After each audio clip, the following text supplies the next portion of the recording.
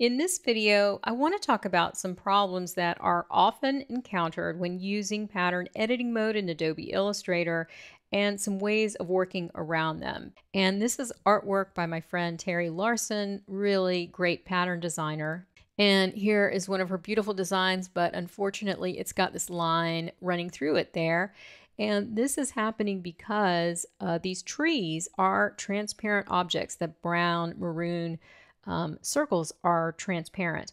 And so anytime they cross uh, the tile line um, or the bounding box of the swatch, they get this little line because it's almost where like two tiles are just butting up against each other. To me, it looks like it's a tiny bit of overlap. And it might be so fine that you never see it in print, but it could also be a problem. So we're going to look at a way to work around that. And I also want to show another one of Teri's patterns. This one is another version of that, but oh, how gorgeous is this? I love the glowing gradients and the texture. And then unfortunately, you know, it's marred by one of those tiling lines there that's coming from the transparent objects that are crossing the border of the tile and have nothing solid behind them.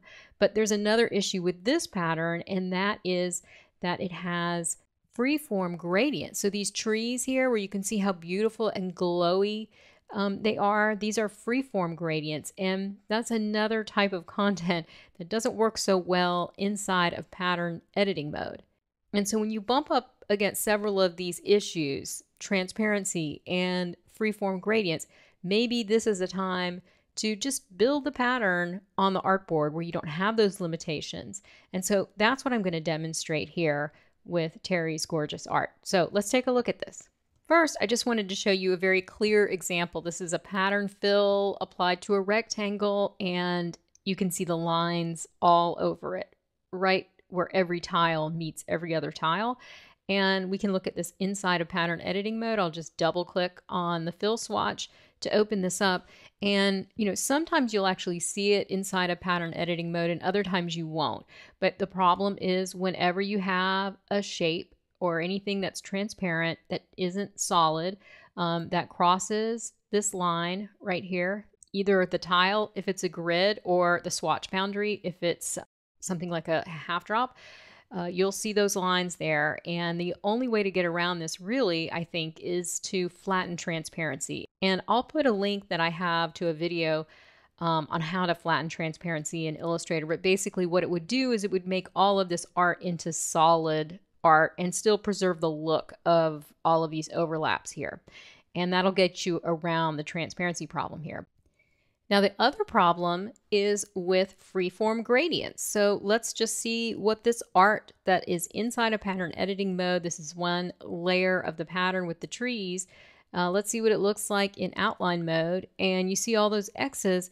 These are kind of like images. What happens when freeform gradients are expanded in Illustrator. And that happens automatically when you're using pattern editing mode certain kinds of content just don't work in pattern editing mode. And so you'll get that little pop up warning that tells you they will be expanded when you exit. And so you're left with this. And so there is some transparency left here, but I mean, if I move this around with the white arrow, you'll see it's like there's a mask here. It's very confusing. Um, and then if I look inside of it and I go into the contents, let's see, if I go to the group here, I can see there's that multiply blending mode applied. So it just makes art less editable and way more confusing. Let me go ahead and cancel out of here and just show you what the original art looks like. So what we have here, if I select this with my white arrow, is art that's totally editable. I'll go and open up the gradient panel here and we can see the third type is highlighted. That's a freeform gradient.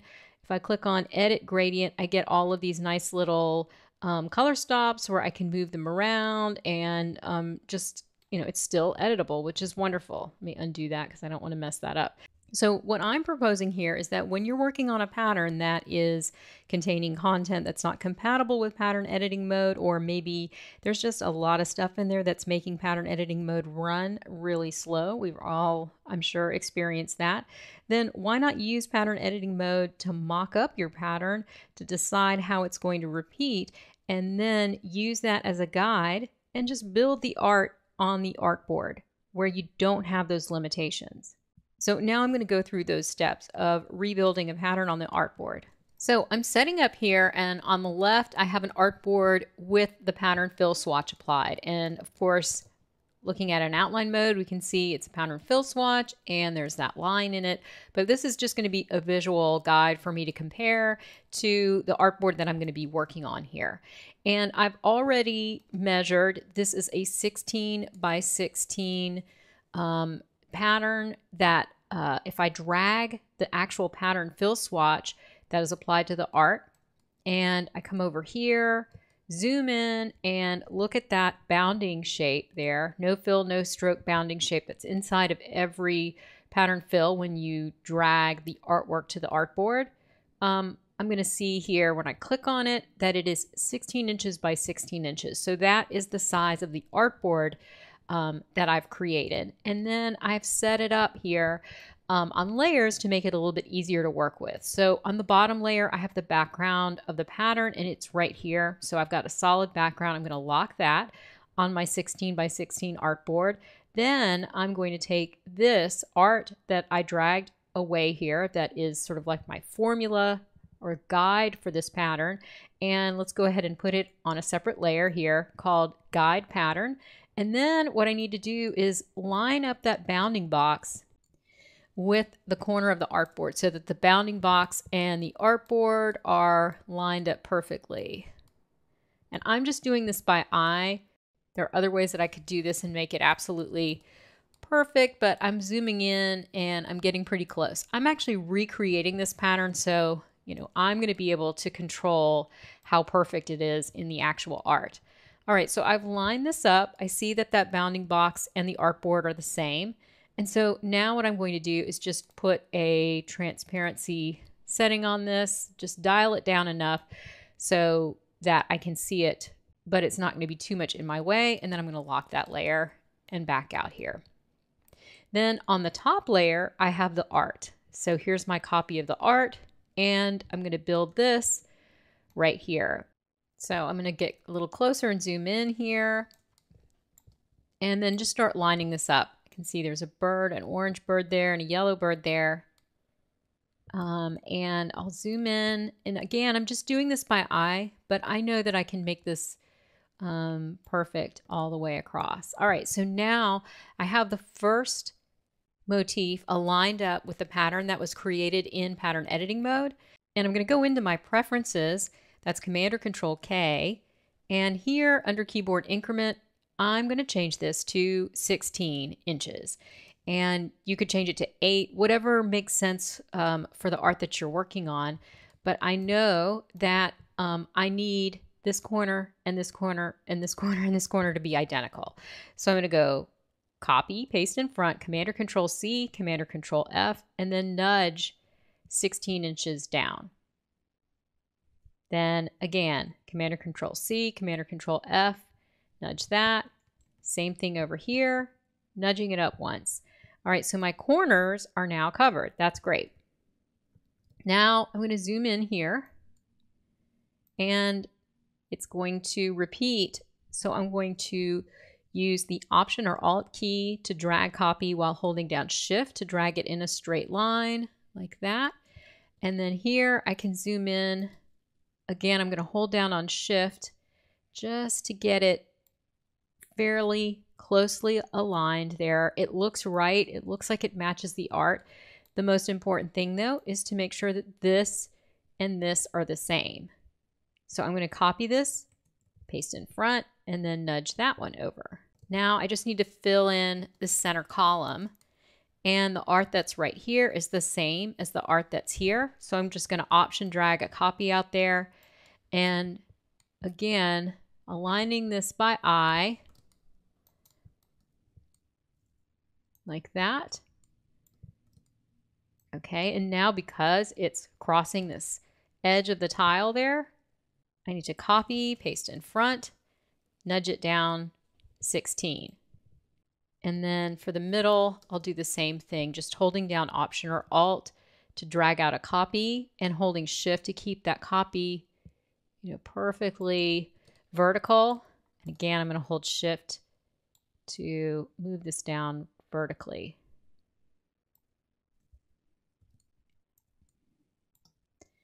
Um, and I see a little spot right up here I'm going to take care of, but let's just see if I flip this on and off.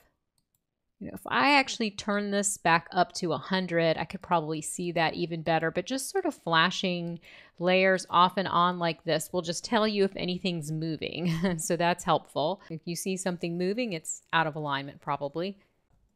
Now I want to take care of what looks like just a little spot right there, a little open gap. So I'm going to copy some artwork. Um, copy, paste in front and nudge it up.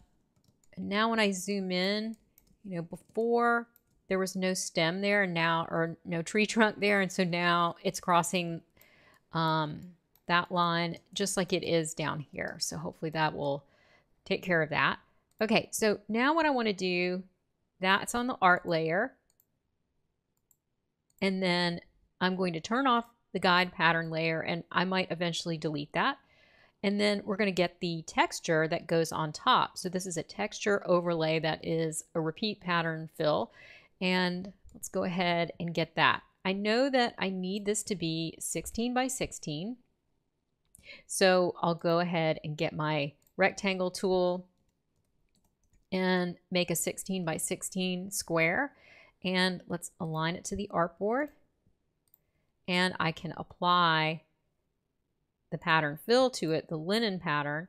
And it is pretty large scale right now, but I know that she was using it at a percentage. So I'm going to go ahead and add that here in the appearance panel. So with that fill selected, I can see right here is the pattern fill. It's hard to see because it's white, um, but that is a pattern fill there. Um, and then I'll just add Let's see, a distort and transform, transform, and let's do this 25% there. And it's got transform objects, but not patterns. Let's go ahead and check on patterns. So you can see that's a very fine mesh and then uncheck transform objects so that I have that 16 by 16 there. Now that I have scaled this, I'll click OK and I'm going to apply a transparency setting that she used. Normal, let's see, it is an overlay and it's at 30%, which makes this really nice and glowy. All right, so let me zoom in here and that looks lovely. Now the one thing that I want to do is extend this pattern overlay past the border of the artboard. Since this is going to be the edge of the tile, it's nice to have a little bleed there. Um, it helps with those pattern tiling lines, a whole other subject um, that sometimes happens. But I don't, you know, if I just scale this rectangle to make it bigger, the pattern will scale too. And I don't want to do that. I've already set it up so I know this is a repeating pattern fill here. So I'm going back to my preferences, Command or Control K, and uncheck transform pattern tiles here. And that way I can scale this rectangle without scaling the pattern. So I'm going to hold down the Option or Alt key. That's going to scale this from the center and the Shift key to keep it proportional and just give myself a little extra overlap bleed there that goes over the edge of the artboard. All right, and because I held Option, I was doing that scaling from the center, so we did that all the way around the art. And now I can go ahead and export this. So I'm going to go up to File, Export, Save for Web. And here inside Save for Web, I can change the dimensions here. So this is a 16, I'm using my calculator, 16 inch square artboard, and I'm going to multiply that times 150 ppi. That is the Spoonflower resolution, which equals 2400 pixels. So I'll go ahead and type that into the size here and let it resize. Now, right now it's a JPEG, very high, so that's probably good. You could also choose to make this a PNG 24. I'm gonna leave it as a JPEG right now and then click Save. All right, so I've opened it up in Photoshop and I'm gonna do a quick preview by going to View, pattern preview and this will tile out the pattern and that way I can look and see if I see any tiling lines there at the edges. And it looks great. So, building your pattern on the artboard gets around some of the limitations of pattern editing mode, but you can still use pattern editing mode to do what it's great for, which is tiling things out and letting you design in real time and see your updates happen as you move your motifs around.